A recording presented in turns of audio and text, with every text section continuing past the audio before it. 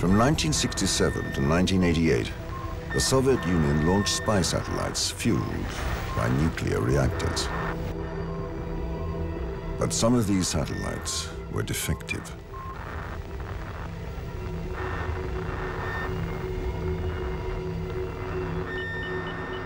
In September 1977, American radars noticed that Russian satellite Cosmos 954 was making erratic maneuvers.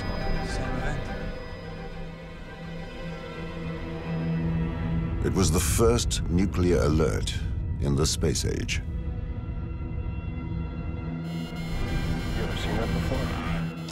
On January the 12th, 1978, the Americans contacted Soviet authorities regarding the satellite.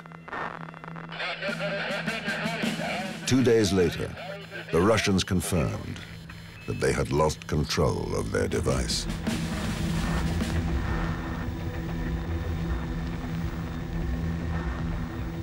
When the satellite re-entered the atmosphere, it scattered radioactive material all over northern Canada.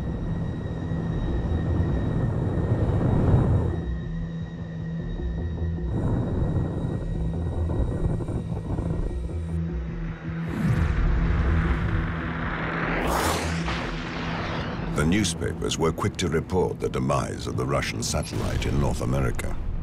In the midst of the Cold War, soon became clear that orbital debris could be a potential danger to the population on Earth.